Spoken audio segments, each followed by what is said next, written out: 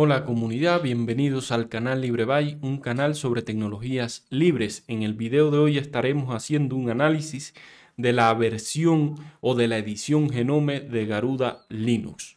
Garuda Linux es una distribución GNU Linux enfocada fundamentalmente para el juego y la multimedia. En un video anterior hacíamos un análisis de la versión o la edición Garuda KDE Dragonizes, que es una edición con una interfaz sumamente atractiva. Garuda viene con varias ediciones y en el día de hoy vamos a hacer un análisis de la edición Genome. En otros videos haremos eh, análisis también a otras ediciones de Garuda Linux. En el día de hoy nos enfocaremos en Genome. Antes de comenzar, recordarle antes de comenzar, recordarle que todos nuestros videos están disponibles en la plataforma Library. En la descripción del video dejo el enlace al canal en esta plataforma. Bueno, ahora sí, comencemos con la parte práctica. Vamos a usar una imagen viva o un CD vivo eh, con una máquina virtual. Una vez que usted pone su CD vivo y e inicia, le va a mostrar una pantalla como la que están viendo ahora y por supuesto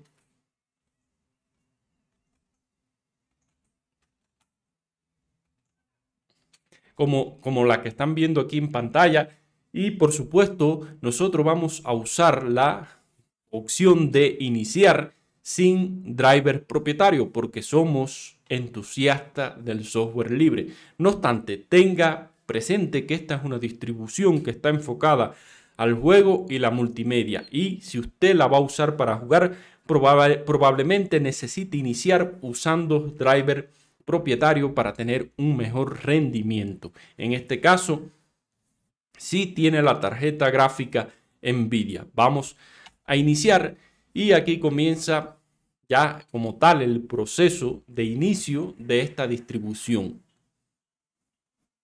Es una distribución que está basada en Arch Linux, por lo tanto es una distribución rolling release que significa de lanzamiento continuo o mejor dicho de actualización continua, donde los paquetes eh, constantemente se están actualizando. Esto la diferencia de distribuciones como eh, Debian y como Red Hat Enterprise Linux, donde son distribuciones que están enfocadas a ambiente empresarial, ambientes de servidor y el enfoque es más bien lograr estabilidad que tener paquetes recientes. Una vez que se ha iniciado, me muestra esta pantalla en este caso, como dije anteriormente, estamos haciendo un review, un análisis de, la edición Genome. Pues tiene una interfaz gráfica, eh, digamos, un tema, un tema bastante eh, atractivo con eh, activado por defecto la apariencia de color oscuro. Viendo aquí la pantalla de inicio, Garuda viene con incluso, bueno, aquí le doy al, a la rueda del mouse y me cambia de una pantalla a la otra. Esto es específico de Genome. Como dije, viene con varias herramientas por defecto. No obstante, no incluye gran cantidad de paquetes, sino Mm, incluye una, un conjunto mínimo de paquetes y esto me gusta. Además, como vimos en el video anterior, Garuda trae un kernel eh, personalizado para juegos y multimedia. O sea, está optimizado para este propósito. Por lo tanto, Garuda Linux no es una distribución que se vaya o que se vaya a usar en servidores o recomendables para servidores aunque tampoco esto quiere decir que no la puede usar, sí la puede usar, lo que no es su propósito. El propósito de los desarrolladores de Garuda Linux no es que se use en servidores, sino que usted la use como escritorio y como una plataforma de juegos. Bueno, aquí mm, vemos la pantalla de inicio. Una vez, por supuesto, si usted instala Garuda Linux en su disco duro, esto no le va a aparecer siempre, sino por primera vez. Aquí tiene la opción de instalarla al disco duro. Viene con un disco, digo, con un instalador gráfico que se llama Calamares, que es muy intuitivo. Como podemos ver, podemos acceder a su sitio web, a su wiki, podemos hacer una donación a las preguntas frecuentes, al código fuente en GitLab, un administrador de paquetes incluye y estos son otras utilidades. Me llama la atención, también lo veíamos anteriormente, que el sistema de fichero que usa por defecto es BTR File System, que es un fichero, eh, sistema de fichero novedoso. Ahora yo le voy a decir cerrar y vamos a hacer un, un review. Como pueden ver, esto es Genome, por lo tanto, la mayoría de las eh, características que aplican para Genome también aplican para Garuda Linux. Viene con Genome 43.1. En el caso de que quiera ver las configuraciones, puede, puede ir al panel de control de Genome y aquí puede buscar la parte de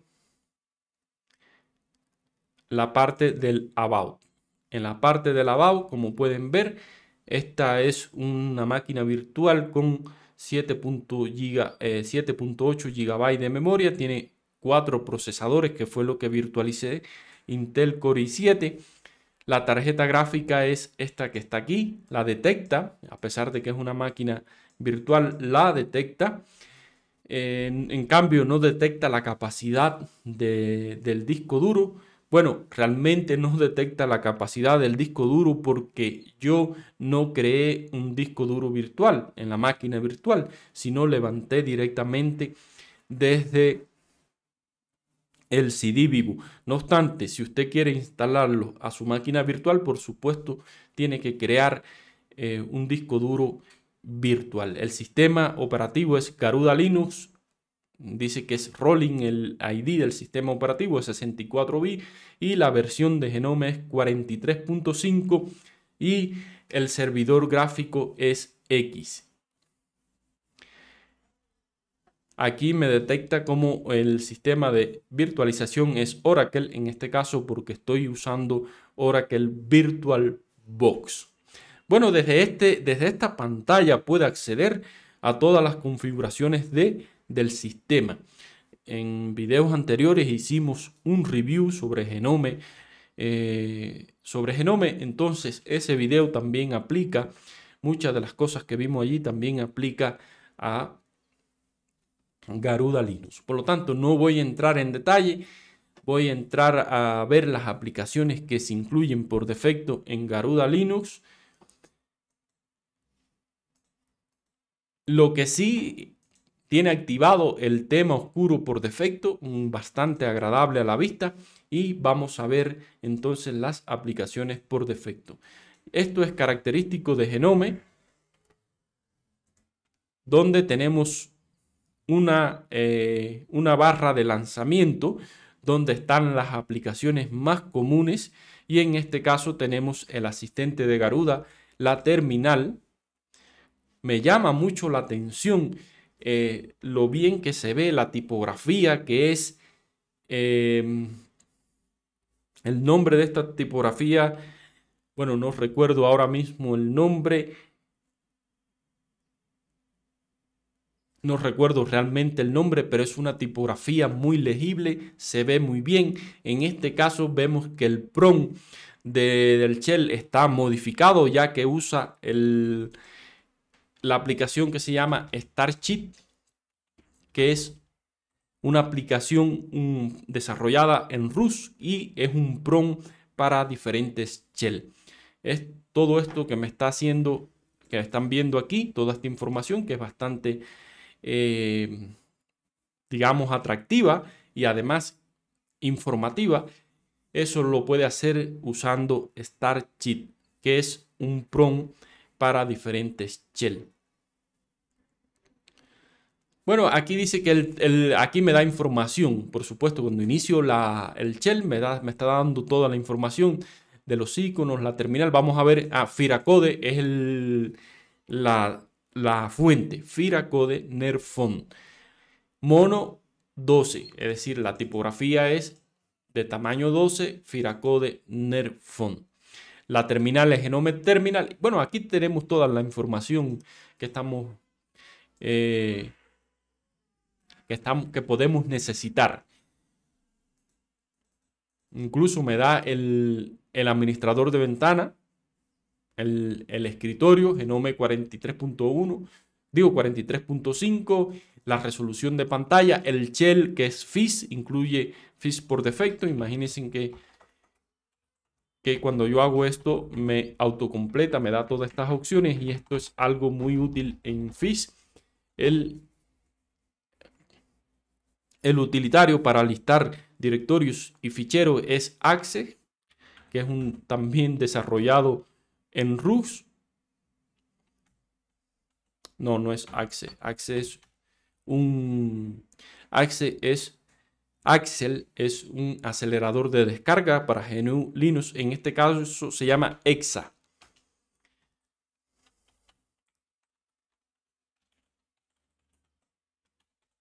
EXA. Lo que ls lo puede ver con alias. En los alias, el eh, alias ls eh, está invocando a la herramienta EXA con estos con estas opciones. EXA es una herramienta que está desarrollada en RUS y permite reemplazar el, la herramienta LS tradicional. Bastante informativa, bastante informativo, bastante, eh, digamos, atractivo la interfaz de Garuda Linux Edición Genome, aunque tiene un estilo un poco más eh, tradicional, un poco más estándar, un poco más formal que Garuda Dragonisis. Bueno, seguimos aquí. También tenemos el administrador de ficheros, que es el administrador de ficheros de Genomes por defecto. Como pueden ver, luce bastante bien con el tema oscuro. Los, los iconos, ya lo veíamos allá arriba. El tema, o mejor dicho, el tema de los iconos, lo veíamos acá arriba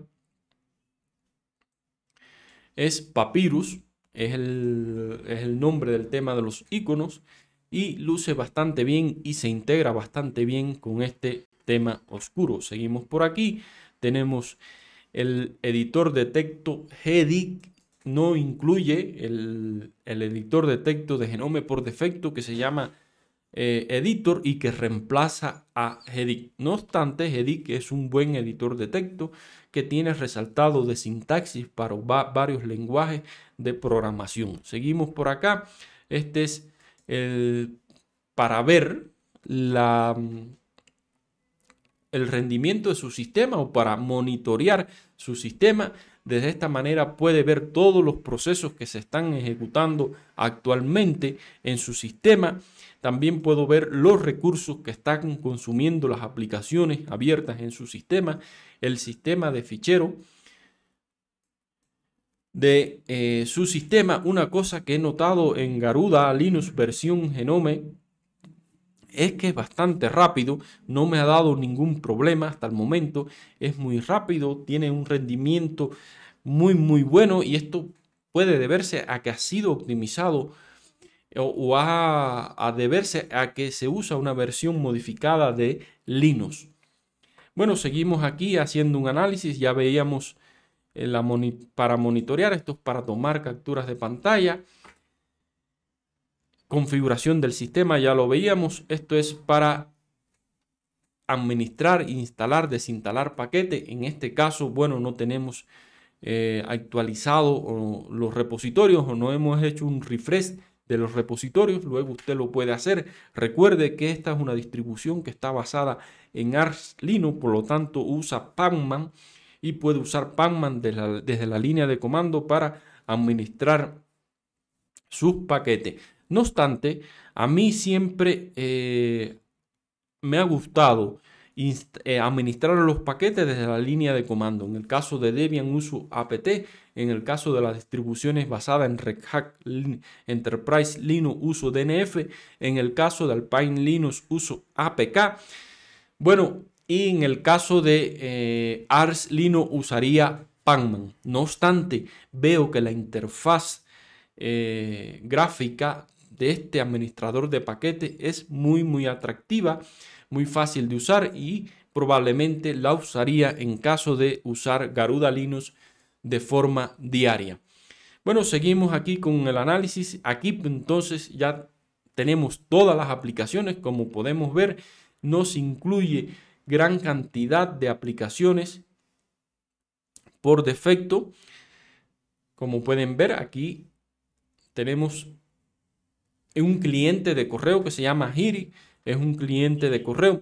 Realmente mm, me hubiera gustado que no se incluyera ningún cliente de correo por defecto, ya que eh, esta es una aplicación que luego se puede instalar. Bueno, aquí tenemos otras aplicaciones para eh, relacionadas con las configuraciones de determinados servicios. Esto es un asistente para el sistema de ficheros BTR File System. Aquí tenemos para acceder a las extensiones, me imagino que sea a las extensiones de Genome. Aquí este es Fire, Dragon, es un, navegador de internet basado en Firefox, pero eh, digamos que personalizado para Garuda Linux. Aquí podemos tener información de todas las, eh, digamos, los firmware esto está relacionado con los, los controladores o drivers. Una calculadora FIS, que ya la habíamos visto, las opciones, una aplicación, las opciones para debuteo, una aplicación para reparar el, el, bootloader, el. Esto es para hacer chroot, Garuda Gamer. Vamos a ver qué es lo que es Garuda Gamer. Bueno, Vamos a quitar el Always on Top aquí. El Garuda Gamer. Bueno, el, como podemos ver, Garuda Gamer te permite instalar varios lanzadores de juego. En este caso, Steam. Sé que Steam no es software libre, por lo tanto, eh, Garuda Linux incluye algunos aplicativos privativos. En la sección de juego vemos todos estos juegos que están aquí. En la sección de emuladores tenemos todos estos emuladores que está aquí. No sé qué va a pasar si yo selecciono, por ejemplo, dos bot y le digo apply. Bueno, parece que primero tengo que usar menos SY para descargarlo usando Pacman y luego, bueno, eh, ejecutar el proceso de instalación de algunos de estos emuladores. Bastante integrada, bastante integrada. Eh, la interfaz, todo muy fluido, todo muy bonito. Estábamos aquí en todas las aplicaciones, nos quedamos en el Garuda Gamer. Esto es para configurar la red, esto es para los utilitarios de Genome. Esto es algo nuevo de Genome, creo que es a partir de Genome 43 que te permite agrupar varias eh, aplicaciones y tenerlas en una eh, agrupadas y luego poderlas visualizar de esta forma, que me parece muy útil y muy bueno. Bueno, esta es para realizar configuraciones de Garuda como tal, ya esto es específico de Garuda. Y por último, eh,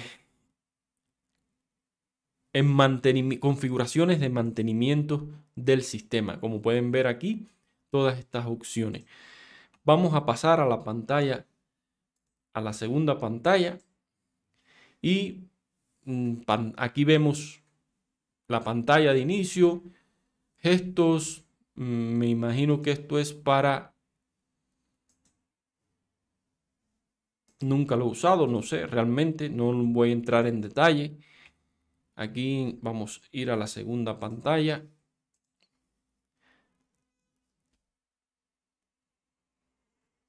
Esta es una herramienta para, monitorear el sistema. Es una herramienta eh, que tiene interfaz eh, en modo texto para instalarlo al disco duro. Micro, Micro es un editor de texto desarrollado en Golang. Es un editor de texto con las combinaciones de teclas eh, más usadas, por ejemplo, el control S para salvar, control Q para salir y es muy intuitivo. Bueno, aquí tenemos un reproductor de multimedia que es MPV, Pace, Pace, no sé qué es Pace, vamos a ver qué es lo que es Pace.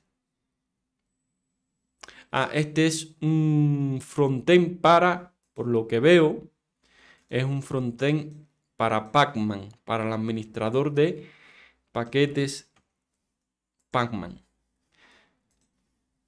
Seguimos aquí, eh, tenemos otros utilitarios. Y como pueden ver, no incluye por defecto una gran cantidad de aplicaciones y esto me gusta. Otra de las cosas que me gusta de eh, Garuda Linux Edición Genome es que todo está muy bien integrado, todo muy bien fluido y el rendimiento es muy, muy, muy bueno. Bueno, comunidad, esto es todo lo que quería traerle por el día de hoy. En próximos videos estaremos hablando sobre próximas, eh, sobre próximas ediciones de, o sobre otras ediciones de Garuda Linux y nos vemos en un próximo video para seguir hablando sobre tecnologías libres.